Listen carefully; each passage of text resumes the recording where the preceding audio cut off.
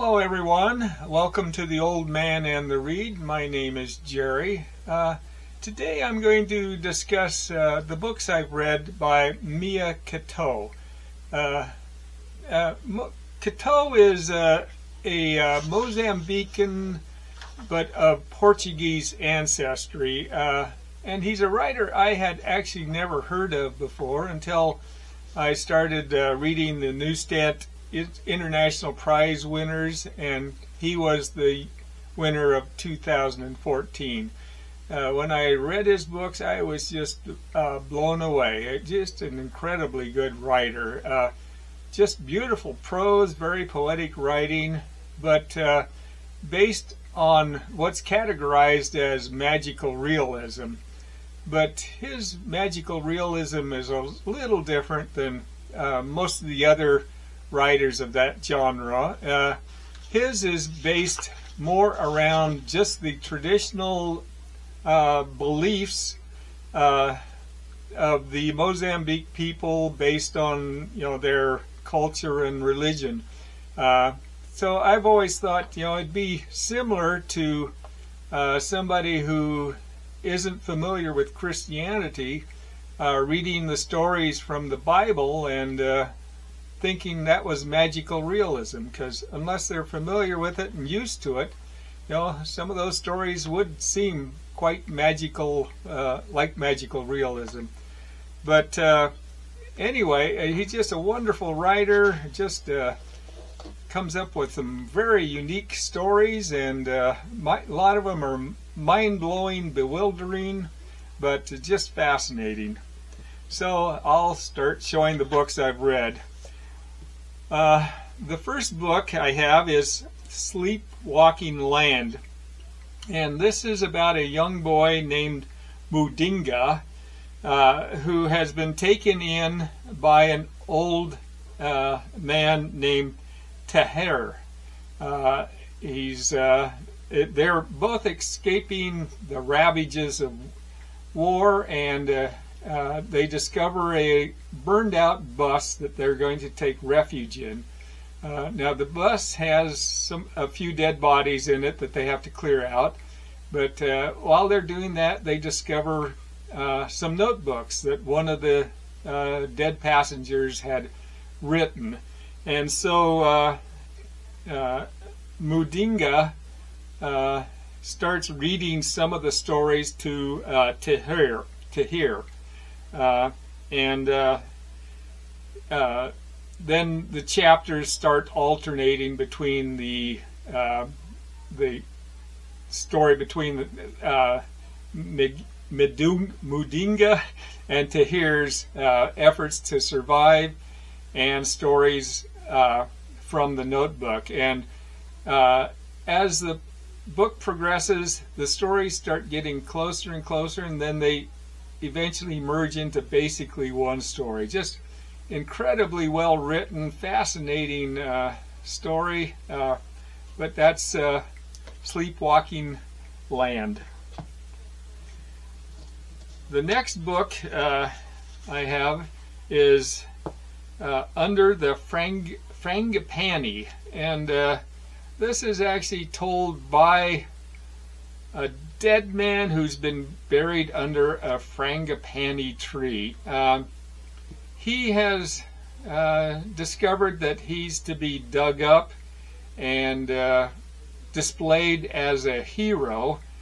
And uh, in order to escape, uh, he an anteater friend of his uh, has helped him to uh, enter the body of a policeman who has been sent there to investigate a murder. Uh, it's you know mind-blowing, twisting story.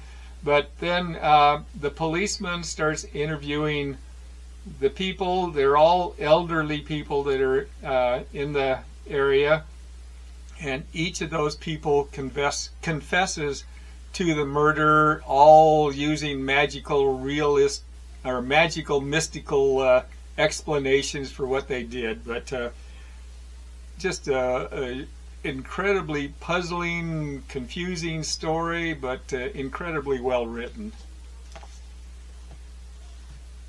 Uh, the next book is The Last Flight of the Flamingo, and uh, this is actually basically a story about uh, United Nations uh, peacekeepers who have been mysteriously disappearing in what appears to be explosions.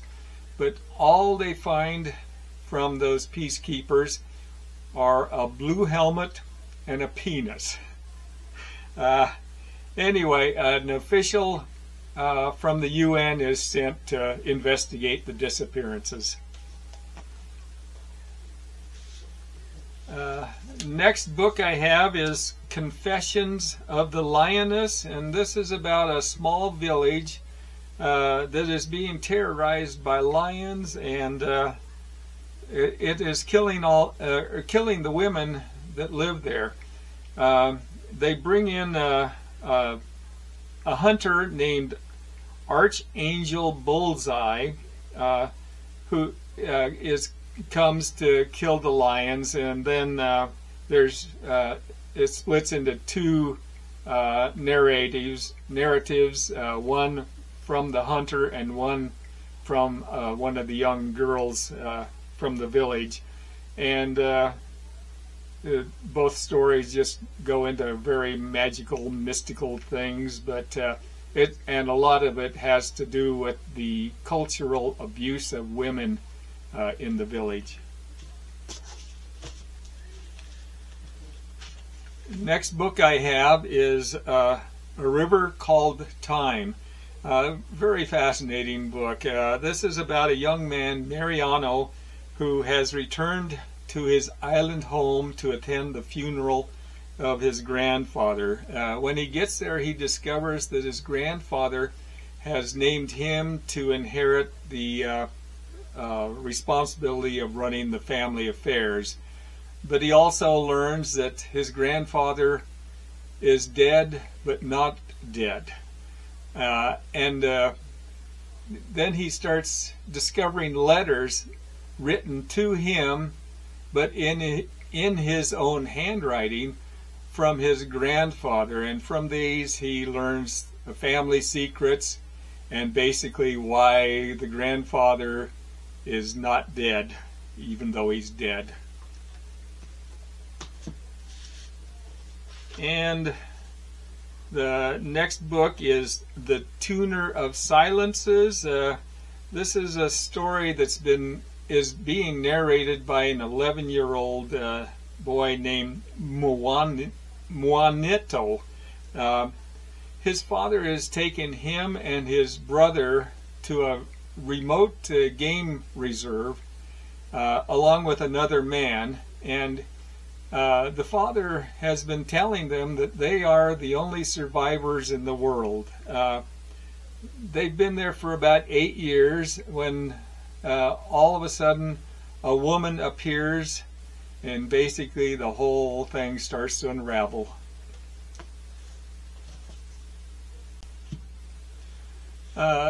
The next two books I have are uh, based in uh, the late 1800s, uh, during a time when uh, the Mozambique uh, people were uh, waging war or trying to trying to overthrow the Portuguese colony. and the first one I have is "Woman of the Ashes," and this uh, story alternates between a narration from uh, a Portuguese sergeant named Germano and a 14 year old girl named Imani, uh, who is actually his interpreter. Uh, but uh, the story takes place in a small village, and there's a massive uh, army that's been organized uh, try to uh, overthrow the Portuguese, and uh, it's advancing on the village that the two are in.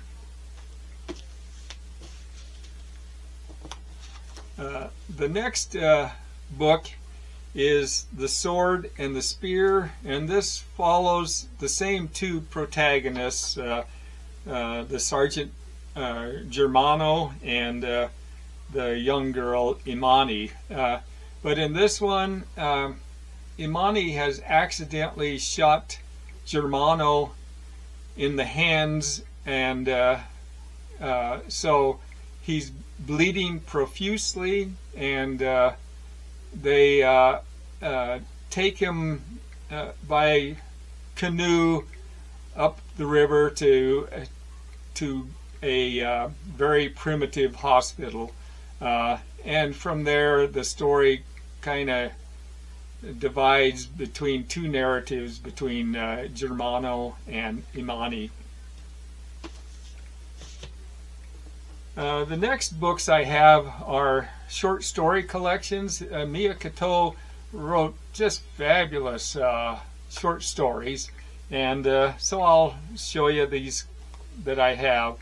Uh, the first is titled "Every Man Is a Race," and you know they're just very lyrical and um, um, mystical stories in these, but the story, the my favorite story in the book, I think, is the bird dreaming Baobab, and this is about an old man known as the Birdman, who uh, is followed by hordes of birds.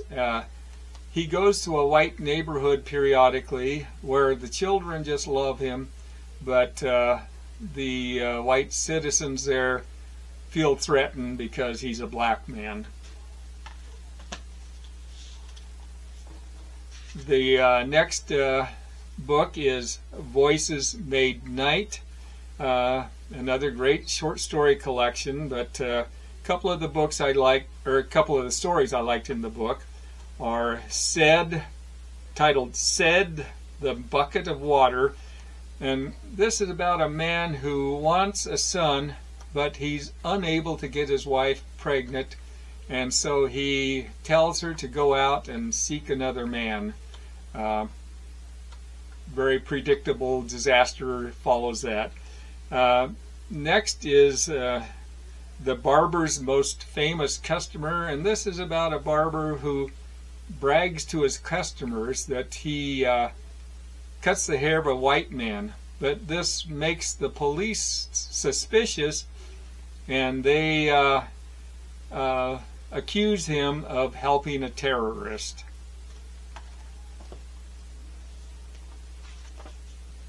The uh, next book is The Blind Fisherman, uh, and uh, a couple of the short stories I liked from this one. Uh, the first is titled The Fire, and um, this is about an old man who uh, decides to dig graves for, for both himself and for his wife uh, because no one would be around when they die to dig their graves. But this leads to further complications. Uh, and the other, the title uh, story, The Blind Fisherman, is about a fisherman who's adrift on the ocean. Uh, he's uh, run out of bait and he's starving to death, and he comes up with the idea that he could fish using his eyeballs as bait, and uh, that's where that story leads from. next book is Rain, uh, and uh, the title story Rain is about uh, a uh, there's been a multi-year drought, and then uh, uh, suddenly there's a downpour of rain that goes for three days, and that's where that story starts from. And then another titled the woman engulfed in stone and this about this is about a man who finds an old woman on the floor in a stone church. And she's begging him to help her up. Uh, but when he tries he's unable to move her and discovers that she is actually turning to stone. And the last book I have is just a sensational uh, collection of short stories. Uh, I think there's 64 short stories in this one. Um, several of them are the same ones that from some of these other short story collections, but uh, but there's more, a lot more uh, newly translated books that there are stories that have appeared in the book, um, but they're all basically magical, mystical uh, stories, and uh, some are actually uh, more about cultural clashes and uh, the extreme racism that uh, the uh, Mozambique people suffered during the colonial times. But fantastic book of uh, short stories. But those are the books I've read by Mia. Uh, he quite a fascinating writer, just very beautiful prose, but just mind-bending, uh, mind-altering, hallucinogenic type stories that uh, are bewildering, but just actually fascinating to watch or to read. Uh, so I want to thank you for watching uh, the video, and uh, we'll hopefully see you in another one. Thanks.